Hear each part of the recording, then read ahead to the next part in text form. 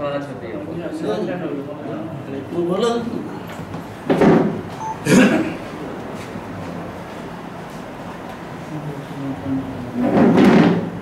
ముందుగా జగిత్యాల జిల్లా ప్రజానీకానికి తెలంగాణ రాష్ట్ర ఆవిర్భావ దినోత్సవ శుభాకాంక్షలు తెలియజేస్తూ పత్రికా ప్రతినిధులకు శుభాకాంక్షలు తెలియజేస్తూ తెలంగాణ ఆవిర్భావం కావడానికి మేధావులు విద్యార్థులు సబ్బండ వర్ణాలు అందులో ముఖ్యంగా మీడియా పాత్ర. అసలు మీడియా లేకపోతే తెలంగాణ వచ్చేదే కాదన్నది నా వ్యక్తిగత అభిప్రాయం. ఎందుకంటే వారి కష్టం తెలంగాణ రావడానికి ముఖ్యమైనటువంటి కారణం. ఇది జగమైన సత్యం. ఎందరో మహానుభావులు అది విద్యార్థులు కానీ తదితర వర్గాలు కానీ ప్రాణాలు అర్పించినటువంటి సందర్భం తెలంగాణ కోసం పోరాట సమయంలో. అటువంటి తెలంగాణ ఏర్పాటుకు సహకరించినటువంటి వ్యక్తులు కాకుండా ఈరోజు ఆ ఫలాలు కేవలం ఒక్క కేసీఆర్ కుటుంబం మాత్రమే అనుభవిస్తుందని చెప్పడానికి నాకు ఎలాంటి సంకోచం లేదు. ఎందుకంటే గత ఆరు సంవత్సరాలుగా తెలంగాణ రాష్ట్ర ప్రభుత్వం ప్రజలకు చేసింది ఏమీ లేదు వాస్తవంగా. కేవలం పెన్షన్ మాత్రమే. ఆ పెన్షన్ కూడా ఐదో తారీఖు ఇస్తా అని చెప్పి ప్రతి నెల ప్రగాల్భాలు కలిగిన కలిగినటువంటి కేసీఆర్ గారు ఇరవై తొమ్మిదో తారీఖు ముప్పై తారీఖు లేకుంటే గత నెల పైసలు ఈ నెలలో ఇచ్చే ఇచ్చేటువంటి సందర్భాలు. పదహారు వేల కోట్ల మిగులు బడ్జెట్తోని తెలంగాణ రాష్ట్రం ఏర్పాటైంది. అటువంటిది ఈరోజు రోడ్డు బడ్జెట్లో ఉంది. మినిమం దాదాపుగా మన తెలంగాణ ఏర్పడ్డప్పుడు అరవై వేల కోట్ల అప్పు ఉంటే ఈరోజు అన్ని అప్పులు కలిసి బ్యాంకులు ఇచ్చినాయి కానీ అన్నీ కలిసి దాదాపుగా మూడు లక్షల కోట్ల అప్పు చేరుకుంది. ఇలా ప్రతి ఒక్క పుట్టిన ప్రతి బిడ్డ పైన లక్ష రూపాయల వరకు అప్పు ఉండే అవకాశాలు ఉన్నాయి. తెలంగాణ రాష్ట్రానికి టీఆర్ఎస్ ప్రభుత్వం చేసింది ప్రజలకు చేసింది ఏమైనా ఉందంటే ఏమీ లేదని చెప్పచ్చు. ఇక్కడ ఒక విషయం తీసుకుంటే పదివేల రూపాయలు రైతు బంధు ఇస్తా అని చెప్పి ప్రకటించి రైతు బంధు ఇస్తున్నాం. అది కాదు కేసీఆర్ గారు. రైతు భిక్షమెత్తుకోవడం అవసరం లేదు. మేము జగిత్యాల జిల్లా తెలుగుదేశం పార్టీ పక్షాలు కోరుకునేది ఏంటంటే ధాన్యము పండించిన ధాన్యానికి రాష్ట్ర ప్రభుత్వము మూడు వందల రూపాయలు సపోర్ట్ ప్రైజ్ చేయాలని డిమాండ్ ఇస్తుంది కేసీఆర్ గారు ఒక ఎకరంలో ఒక రైతు ముప్పై ఐదు క్వింటాల వరిధాన్యాన్ని పండించేటువంటి పరిస్థితులు ఈరోజు. అంటే ప్రతి రైతు మినిమం రెండు నుంచి ఐదు ఎకరాల వరకు మినిమం ఉన్నటువంటి సందర్భం. మూడు వందల రూపాయలు సపోర్ట్ ప్రైస్ ఇస్తే పదివేల పదకొండు వేల ఐదు వందల రూపాయలు మూడు వందల చొప్పున ఇస్తే మరి కేసీఆర్ గారు రైతే నీకు పదివేలు ఇచ్చేటువంటి అవకాశం ఉంటుంది. రైతు రా- రైతును రాజు చేయాలనే ఉద్దేశం నీకు ఉన్నట్టుంటే వెంటనే మక్కలు జొన్నలు వరి రాగులు సజ్జలు ఎర్రజొన్న వీటికి మూడు వందల రూపాయలు సపోర్ట్ ప్రైజ్ చేయాలని క్వింటాల్ డిమాండ్ చేస్తున్నాను నేను. తదుపరి వాణిజ్య పంటలైనటువంటి మిర్చి పసుపు పత్తి వీటికి పదిహేను వందల సపోర్ట్ ప్రైజ్ చేయాలని మేము మా తెలుగుదేశం పార్టీ పక్షాన డిమాండ్ చేస్తున్నాం ఇంకో విషయానికి వస్తే మీరు అధికారం కోసం దళితులకు మూడెకరాల భూమి ఇస్తాను రాష్ట్రం మొత్తం టాటా తీసారు మీరు. ఒక్కరోజే రెండు వేల పద్నాలుగులో. ఒక్కరోజు ఇంటింటి సర్వే జరిపినటువంటి మీరు ప్రతి రికార్డు ప్రభుత్వంలో ఉంది. మరి మీరు ఎంతమంది దళితులకు మూడు పథకం ఇచ్చారో అది తెలియజేసిన తర్వాతనే మీరు దేనికైనా ఓట్లు అడగాలి. కేవలం వల్ల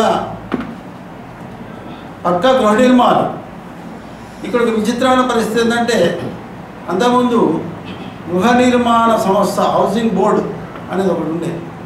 హౌసింగ్ బోర్డును మొత్తానికి ఎత్తేసినాం. ఎందుకంటే ఇష్టారాజ్యం. నా ఇష్టవంతుడికి ఇవ్వచ్చు ఇష్టరానికి రానుడికి బంద్ చేయవచ్చు అది నా ఇష్టం నేను ఎక్కడి నుంచి ఉంటే అక్కడ నీకు ఇల్లు మంజూరు చేస్తున్నప్పు అని ఇటువంటి చెప్పడానికి కోసమే హౌసింగ్ బోర్డ్ అనే ఒక వ్యవస్థనే తీసుకొచ్చాం మీరు ఇవాళ జగిత్యాల అర్బన్లో చూసుకుంటే ఏడు వేల ఇళ్ళకు శంకుస్థాపన చేసి రెండు వందల ఇళ్ళు మాత్రం పూర్తి చేసి ఆ ఇళ్ళను కూడా ఇప్పటికీ పంపిణీ అయినటువంటి దౌర్భాగ్య పరిస్థితి జగిత్యాల నియోజకవర్గంలో ఉంది.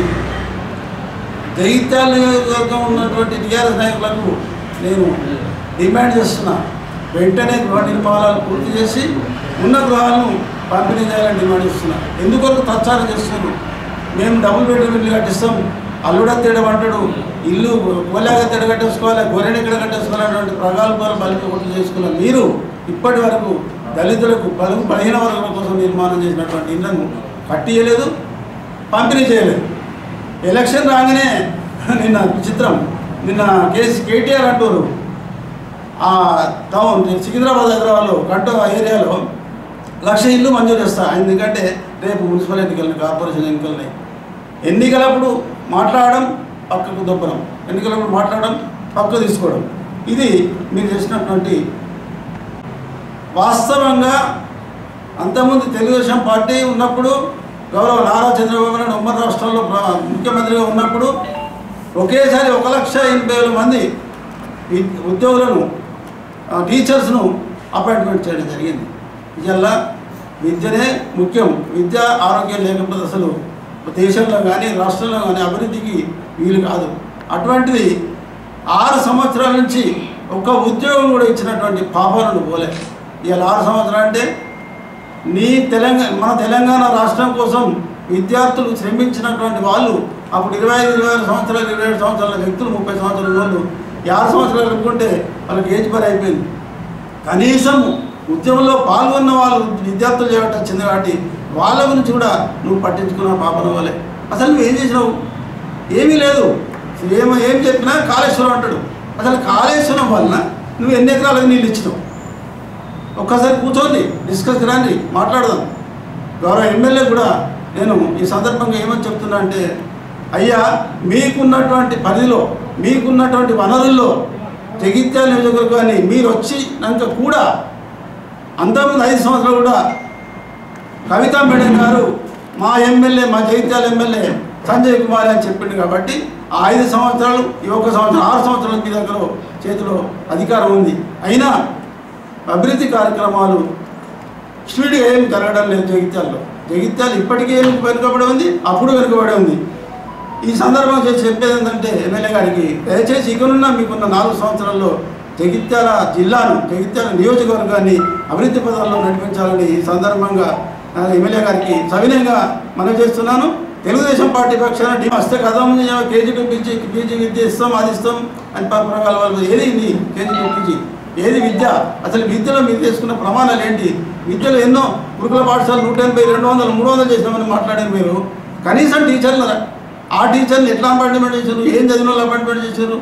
అక్కడ ఉన్న పిల్లలు ఏంది? వాళ్ళకి మీరు చేసేటువంటి కార్యక్రమం ఏందో ఒకసారి బహిరంగ చర్చకు మేము సిద్ధం. విద్య ఇంపార్టెంట్ విద్యా వైద్యం. దాని మీద ప్రత్యేక శ్రద్ధ పెట్టాలని ఈ సందర్భంగా మేము నేను ప్రభుత్వాన్ని డిమాండ్ చేస్తున్నాను కాళేశ్వరం ప్రాజెక్ట్.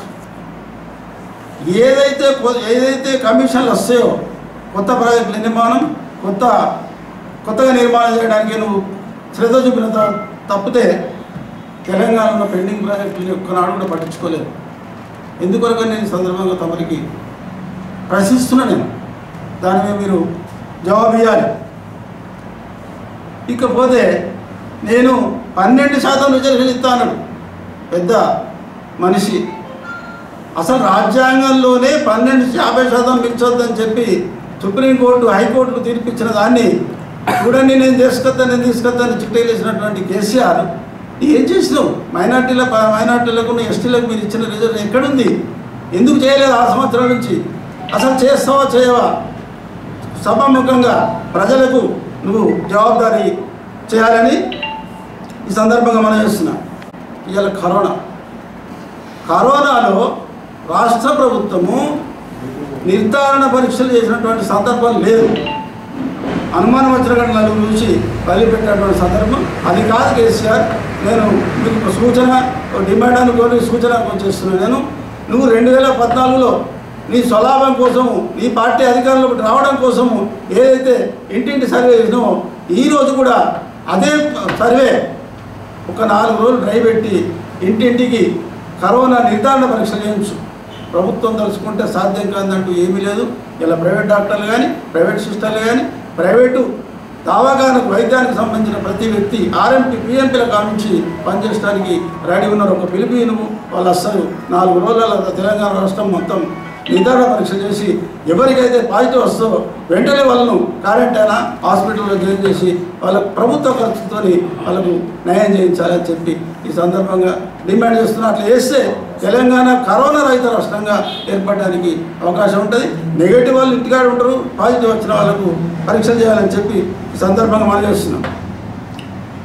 ఇంకొక విషయము ప్రతి ఐదు వందల చొప్పున మూడు మాసాలు పదిహేను వందల రూపాయలు. ప్రతి నెల పదిహేను వందల రూపాయలు చొప్పున మూడు మాసాలు ఇస్తా అని చెప్పి కేసీఆర్ గారు మీరు ప్రగల్భాలు పలికిండ్రు రెండేసార్లు డబ్బులు వచ్చినాయి. మరి ఇంకోసారి డబ్బులు లేవు. మరి ఇస్తారా ఇవ్వరా? ఇవ్వకపోతే ఇవ్వను. తెల్ల రేషన్ కార్డు ఉన్న ప్రతి వ్యక్తికి మూడు మాసాలు ఇస్తాను ఇయ్యలే అది లేదు. ఈ కనీసము ఈ కరోనా సమయంలో ప్రెస్కు సంబంధించిన మీడియాకు సంబంధించిన వాళ్ళు ఎంతోమంది కష్టపడి కొంతమంది పాజిటివ్ కరోనా పాజిటివ్ వచ్చి వాళ్ళు చనిపోయినటువంటి సందర్భాలు ఉన్నాయి. కనీసం వాళ్ళని పట్టించుకున్న పాపన వాళ్ళే ఎవరైనా ప్రెస్ వాళ్ళు ఏదైనా అడిగితే ఏం బాబు నువ్వు కేసీఆర్తో పెట్టుకుంటున్నావా? తమ్ముడు కేసీఆర్తో పెట్టుకుంటున్నావా? బిడ్డనే కేసీఆర్ను అనేటువంటి బెదిరింపులటువంటి ఇది పద్ధతి కాదు. ప్రజాస్వామ్యంలో ప్రశ్నించే హక్కు ప్రతి ఓటర్కు ప్రతి మీడియాకు ఉంటుందని చెప్పి ఈ సందర్భంగా తెలియజేస్తూ ఇలా తెలంగాణ రాష్ట్రం భారతదేశంలో ధనమైన రాష్ట్రం అన్నావు నువ్వు. తెలంగాణ రాష్ట్రంలో ఉద్యోగులకు జీతాలు ఎందుకు కోతలు పెడుతున్నావు ఒక్క తెలంగాణలో మాత్రమే జీతాలు కోత పెడుతున్నావు. ఏమైంది నీ బడ్జెట్ మొన్ననే నువ్వు బడ్జెట్ ప్రవేశపెట్టింది. లక్ష ముప్పై వేల కోట్లు లక్ష నలభై వేల కోట్లు బడ్జెట్ ప్రవేశపెట్టినావు. మూడు నెలలకే దివాలేసిందా అంటే పైసలు లేకుండా తెలంగాణమే రాసి ప్రవేశపెట్టినా బడ్జెట్ ఎలా బతకాలి ఉద్యోగులు? నీకు ఉద్యోగం చేసుకుంటూ వాళ్ళకి వేరే ఆదాయం ఉందా? మరి లంచాలు తీసుకోమంటావా? ఎట్లా బతకాలా? జీతాలు ఎందుకు కట్ చేస్తున్నావు? వెంటనే వాళ్ళ జీతాలు కట్ చేయకుండా హండ్రెడ్ పర్సెంట్ జీతాలు అని చెప్పి ప్రజా ప్రజాప్రతినిధులు బంద్ చేయకురాగా. తీసుకోకూడదు ఏమైంది మీకు? ఉద్యోగులు ఉద్యోగం పేరు మీద బతుకుతారు ప్రజాప్రతినిధులు ఇంకో నానా రకాలు బతుకుతున్నారు వాళ్ళు. వెంటనే ప్రత్యేకమైన ప్రధానమైన డిమాండ్ ఉద్యోగులకు జీతాలు ఇవ్వాలని చెప్పి ఈ సందర్భంగా తమరికి మనవి చేస్తూ ఒక ఒక విషయం చెప్పి ఇస్తాం ఎవరైతే కిరాయిదారు ఉంటాడో అలా కిరాయి ఇవ్వమన్నాడు కిరాయి అడగద్దన్నాడు. ఒక ఇల్లు కట్టుకొని కిరాయి మీదనే బతికేటువంటి కుటుంబాలు కొన్ని లక్షల కుటుంబాలు రాష్ట్రంలో ఉన్నాయి. సార్ అసలు నీకు తెలియదు కావచ్చు ఆ విషయం. నేను చెప్తున్నా నేనేమంటున్నా కిరాయిదారులకు ఎప్పుడైతే నీ మాట మరణించి తర్వాత తీసుకుంటా అని చెప్పి ఆగుతారు నువ్వేం చేయాలా? కరెంటు బిల్లు మాఫీ చేయి. తర్వాత ఆ ఇల్లు కట్టేటువంటి మున్సిపల్ బిల్లును నువ్వు మాఫీ చేయాలని సందర్భంగా మనగేస్తూ పై విషయాలు అన్నిటిపైన ఏ టీఆర్ఎస్ సంబంధించిన కార్యకర్త అయినా నాయకుడైనా నాతోటి వ్యక్తి అయినా డిస్కస్ చేయడానికి చర్చించడానికి వెళ్ళవేళ్ళను నేను సంసిద్ధంగా ఉంటానని ఈ సందర్భంగా మనవి చేస్తూ ముగిస్తున్నాను.